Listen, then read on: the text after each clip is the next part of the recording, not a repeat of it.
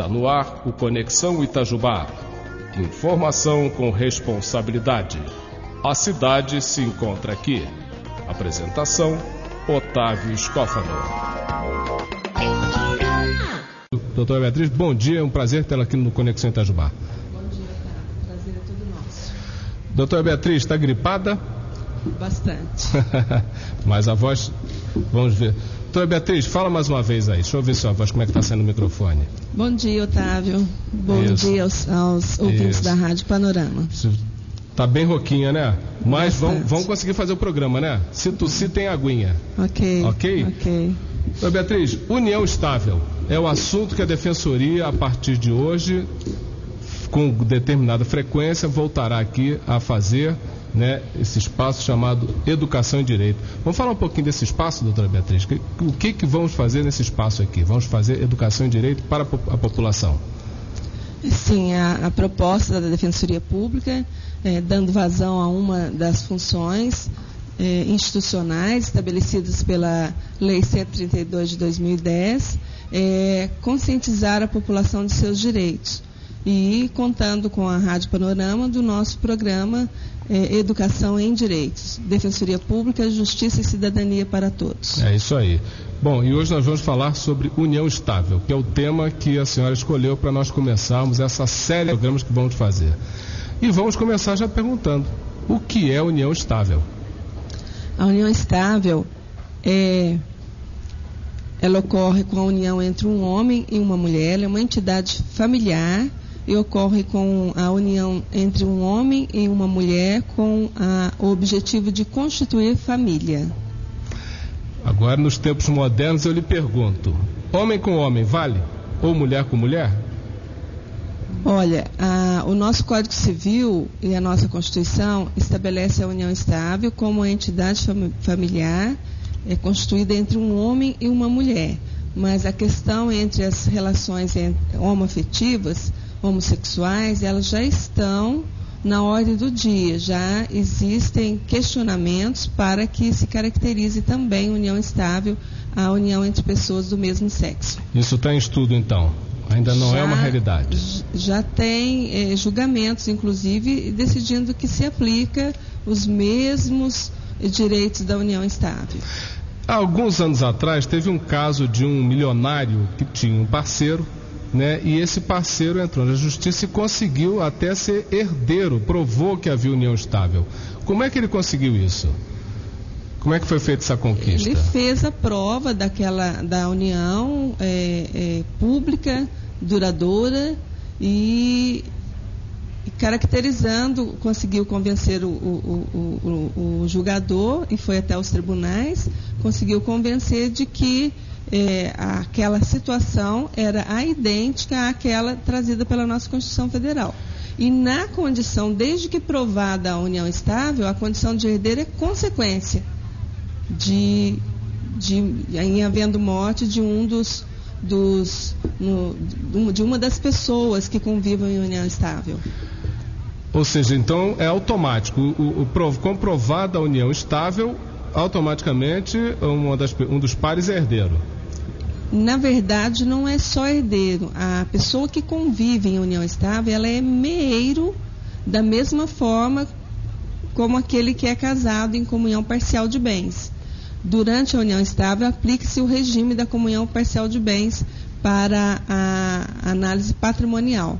Tá? Então, o, o homem ou a mulher, o convivente ou a convivente, eles têm eh, direito à ameação dos bens adquiridos durante o tempo em que conviveram em união estável. Desculpe a ignorância aqui do seu entrevistador. A ameação é alguma forma de ameaça grande? Não, né? Não, não, muito pelo contrário. É, um- é muito bom. A meação é, met- corresponde à metade do patrimônio adquirido durante a união É o estável. meiar, Meade, meação. meação. O que caracteriza essa união estável, então, doutora Beatriz? O legislador ele coloca a união estável como uma união pública duradoura com o fim de constituir família. Tá? Então basta que as pessoas passem a conviver sob o mesmo teto, Hum. tá? com a intenção de constituir família, não se exigindo nenhum lapso de tempo. Eu lhe pergunto, estudante, república, tá morando fora e tal, conhece a menina, tá, vamos morar junto. Vamos, vamos, vamos meiar, vamos dividir, fazer uma meação nessa, nesse, nesse apartamento aqui. E acaba rolando aquelas coisas, né? Tá? Ficam juntos aí, sei lá, durante o tempo de faculdade, quatro anos. Isso significa união. Ele não tem intenção nenhuma, mas rolou o clima, ficou. Isso é, caracteriza uma união estável? Isso é um exemplo. Eu acredito que sim. É. Eu acredito que sim. A Maria está solteira, está com 38 anos, tá, não conseguiu até agora, aí conhece o Joaquim. O Joaquim já está lá bem de vida, está com seus 45 anos, também solteirão e tal. Junta com a Maria. Junta com a Maria, assim, porque a Maria lava bem a roupa, cozinha bem, o João também não tem tempo para essas coisas, quer se dedicar aos negócios. Vai rolando aquele clima, ficam aí os dois, dois anos juntos.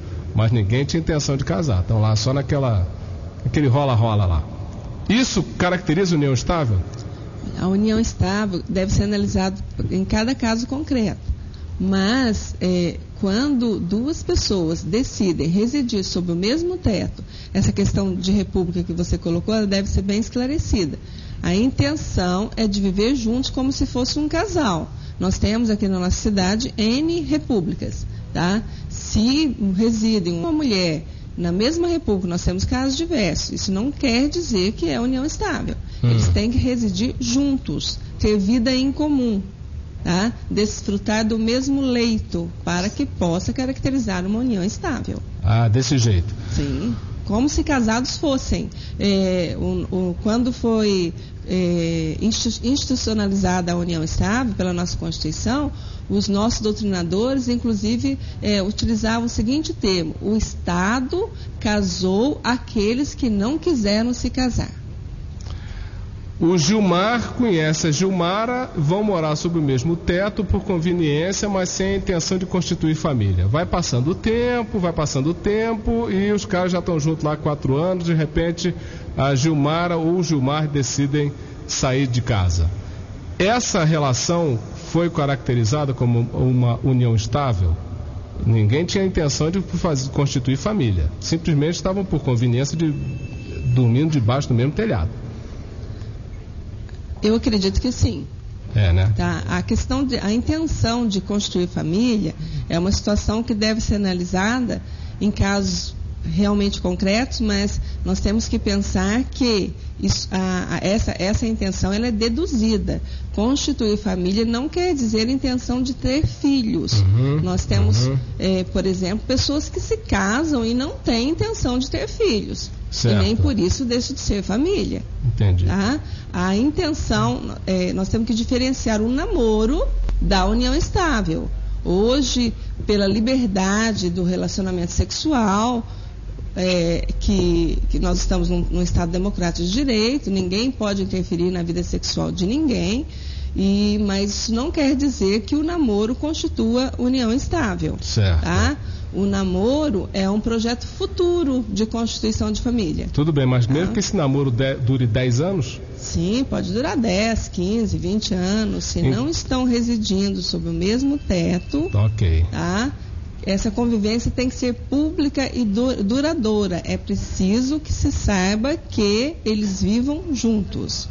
Há casos, sim, sendo questionados de pessoas que não residem sobre o mesmo teto, mas têm encontros com bastante frequência e que são conhecidos como marido e mulher, ah. assim conhecidos na sociedade. Há casos é, deste nível que são trazidos também ao, aos tribunais, mas a tendência dos juízes é que estejam residindo sob o mesmo teto. Ou seja, Eduardo e Mônica. Eduardo mora é, em, sei lá, mora no bairro Boa Vista, a Mônica mora no bairro, tem uma casa no bairro Varginha. Estão juntos há 10 anos, mas não estão debaixo do mesmo teto. Estão nessa condição. Aparecem socialmente em todos os lugares, vão todas as baladas juntos, festa de amigos juntos e levam assim, entre aspas, uma vida de casados. Tenho dias, tem épocas que a Mônica fica um final de semana na casa do Eduardo, tem época que o Eduardo passa o final de semana na casa da Mônica, é como uma amizade coloridíssima. Isso com, e de repente o Eduardo fala assim: vou embora. E a Mônica diz assim: Você tomou meu tempo, investi em você durante esses meus 10 anos de vida, você não vai sair impune. Tinha união estável nisso?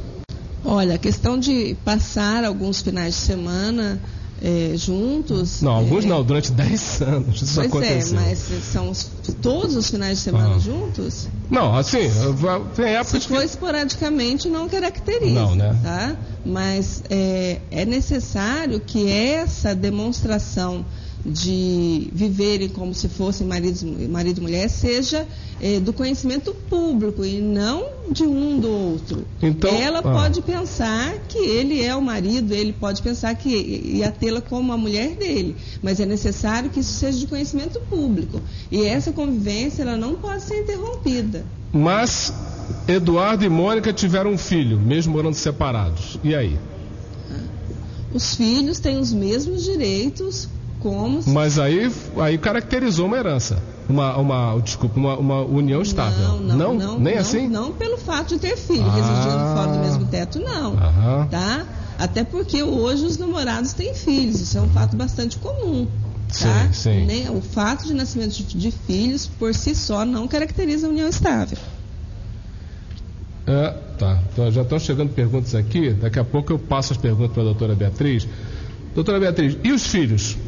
Direitos de herança nesse, nessa aí? Como é da que. mesma forma como se os pais fossem casados. A relação Uhum. de herança dos filhos é para com os seus pais. Então, tá? vamos. Não depende do vínculo que eles estejam unidos. O João casou, o João é um cara bem de situação. Casou com Maria, que não tinha uma situação tão boa assim, mas tinha dois filhos. João morreu. Os filhos de Maria têm direito à herança de João? Não são filhos de João? Não são filhos de Não, João. Não tem direito. Não tem direito. Não tem direito. Perfeito. Perfeito. João e Maria têm. O João tinha três filhos. Quando casou e Maria tinha dois. Maria morreu. Para quem que fica a herança? Maria morreu, fica Maria morreu. os filhos de Maria, os dela, Aham. e mais os filhos dela com João. Se ela tiver filho com Sim, João, sim, divide sim. tudo. Sim. E- E é importante é, é, ressaltar que Uhum. o meeiro, o outro convivente que sobreviveu, ele além da meação, ele concorre na herança com os filhos. Pois é, isso eu queria saber. O João casou com Maria, quer dizer, juntou com Maria. João tem dois filhos, Maria não tem nenhum, né? João morreu. Quem é quem a, a Maria divide a herança com os filhos do João? Sim, sim. É, vamos colocar um exemplo. É, é, João e Maria deixaram um patrimônio num valor, vamos colocar aqui, de 3 mil reais. Sim. Tá?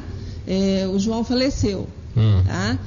A Maria ela tem 1.500, que é a meação, Aham. e ela concorre com os filhos. Ela tem um terço do que caberia para os filhos. Então, cada filho receberia 500 e Maria também 500.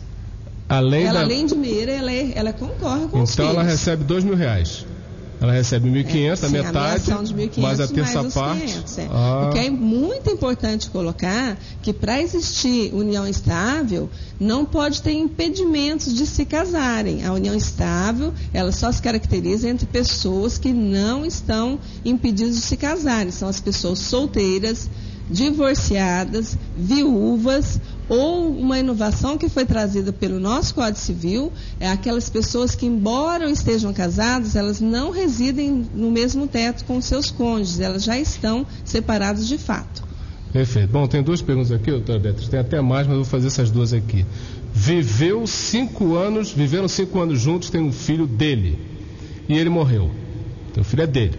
A mulher tem direito à pensão? Ele era um policial militar. Se ela vivia eh, sob a dependência dele, sim, ela tem direito à pensão. Tem direito à pensão. Tá? A questão da pensão da, da, da, da convivente, ela é colocada da mesma forma da, da pensão da mulher casada. Há necessidade de se provar o trinômio, a necessidade de quem vai receber, a possibilidade de quem vai pagar e a proporcionalidade entre esses dois requisitos. Quem vive 30 anos juntos, mas não tem bens, a mulher tem direito a receber pensão? Pensão de quem? Do, do- do marido. Se ela, ela, viveu vivia, 30 anos juntos. se ela vivia sob a dependência dele, Sim. sim. Sim. Mas não tem bens. Não, o direito alimentar não se confunde com o direito patrimonial. Aham, tá? Uhum. Não se confunde. Perfeito. Tá? Então, o direito aí. alimentar depende desses requisitos, necessidade e possibilidade. Beleza. Inclusive, quando o, o, o, o convivente falece e deixou uma. Um, ele era beneficiário de aposentadoria. A convivente ela tem direito à pensão junto ao INSS. Tem. tem ah, ainda tem, ainda tem isso, né? Tem direito junto ao INSS. Beleza. Doutora Beatriz, agora nós vamos. Tem uma outra situação fora a parte de, de união estável, que é o agendamento lá da Defensoria Pública. Vocês estão mudando a forma de agendamento? É, é, nós não estamos mudando. Na verdade, ah. nós já mudamos. O uhum. que nós é, queríamos colocar é que os defensores públicos, a nossa coordenação, nós estamos voltados para fazer o que for melhor para o cidadão que busca a defensoria pública, que é o nosso assistido. Tá? Nós já alteramos por diversas vezes a forma de agendamento, mas nós queríamos ouvir do nosso assistido o que seria melhor para ele. Tá? A forma como fazíamos antes, a forma como está, está se fazendo atualmente, tá? que o que importa para nós é que ele seja bem atendido. Tá? E, então nós queríamos é, colocar, disponibilizar o telefone 3621 3319, fala com a estagiária Vanessa, tá? que vai fazer as anotações é, dos entendimentos das pessoas que carecem da Defensoria Pública para que nós possamos colocar a melhor forma de atendimento. É, eu queria explicar, o atendimento hoje está sendo feito da seguinte forma. É, uma vez por mês, ao final de cada mês, se faz o agendamento para o mês seguinte. Tá? Por exemplo, no dia 31 de março foram feitos os agendamentos para o mês de abril. Tá?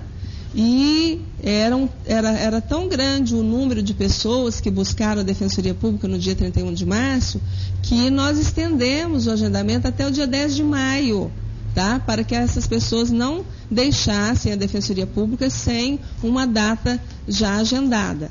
Tá? E essa é a forma que nós encontramos até agora como é, que está atendendo aos anseios da população. Mas nós já tivemos uma outra forma de agendamento que, eh, que ocorria de outra maneira. Agendava-se diariamente, tá? mas somente para aquele dia. Ocorre que, em razão da demanda, que é grande, a procura é grande, e a oferta é pequena em razão do número de defensores públicos e do grande número de atribuições, porque as atribuições dos defensores públicos não se restringem ao atendimento, eles precisam também ajuizar as ações, elaborar as peças processuais, acompanhar as audiências e os andamentos dos processos. Então, eles não podem reservar todo o horário para atendimento, tá? Então, agendando-se para, para somente aquele dia, o que ocorria? As pessoas estavam vindo é, na madrugada anterior para conseguir o atendimento, para se colocar como os primeiros para obter atendimento para aquele dia. Então, nós assistimos assim com muita preocupação e as pessoas, às vezes, começando as filas ali, no início da madrugada, já se começavam as filas à porta da defensoria para serem é, atendidos no dia seguinte. Tá? No meu pensar, é, isso ofende a dignidade da pessoa humana, tá? e nós temos que tentar uma melhor forma para é, se fazer esse agendamento. É, eu acho que não é possível se permitir que um cidadão, para ter acesso à Defensoria Pública, ele tenha que passar uma noite inteira às portas da Defensoria para conseguir o agendamento. Tá? Aí passamos para uma outra forma de agendamento, que foi é, a forma que nos pareceu naquele momento mais adequada, quando as pessoas vinham durante todos os dias, no horário da 1 às 5 da tarde, e poderiam agendar para os dias, é, no dia se tivesse vaga, e para os dias subsequentes.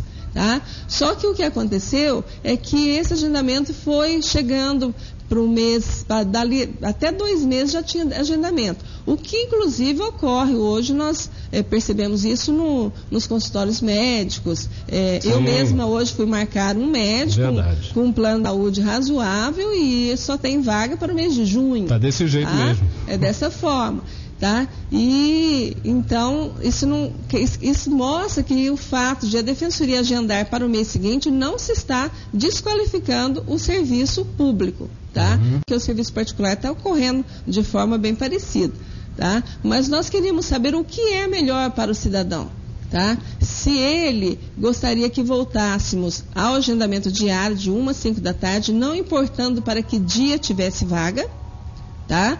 Se ele preferia a forma mais antiga, que era aquela de estar lá no dia para ser atendido no dia, mas condicionado a enfrentar um, uma noite fria ou uma noite quente para poder ser os primeiros das filas, para poder ser agendado para aquele dia, ou se a forma atual que nós estamos fazendo, que é agendamento durante uma vez por mês para o mês seguinte todo tá? o que seria melhor para o cidadão. Como é que ele faz para colocar esse, o seu ponto de vista? Tem algum telefone de contato na defensoria? O telefone 3621-3319, falar com a estagiária Vanessa. Ok. Doutora Beatriz, muito obrigado. Você querendo mais sugestões para esse espaço Educação e Direito da Defensoria Pública aqui no Conexão Itajubá, através da Rádio Panorama, é só entrar na seção Fale Conosco, no conexãoitajubá.com.br ou então Liga no 9963-3676 e dê a sua sugestão. Doutora Beatriz, muito obrigado por ter. Obrigada você, Otávio. Obrigada à Rádio Panorama, que oportuniza esse espaço tão importante para a Defensoria Pública e que é, vem aqui cumprir sua atribuição de também contribuir para a educação em direitos. Ok. Bom, vamos encerrando assim o espaço Educação em Direito, em Direito, o espaço da Defensoria Pública aqui na Panorama, no Conexão Itajubá, e vamos encerrar nosso programa. Obrigado pela audiência e amanhã estamos de volta. Vem aí, Carlos Henrique, porque eu já fui. Tchau, tchau.